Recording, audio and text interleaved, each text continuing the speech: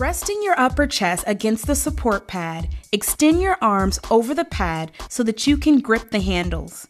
Curl the weight bar as you exhale through your mouth and be sure that you are keeping your elbows firmly pressed down onto the pad as you are contracting the muscle. Once you have curled the weight completely for a full contraction of the muscle, inhale through your nose as you return your arms to an extended position.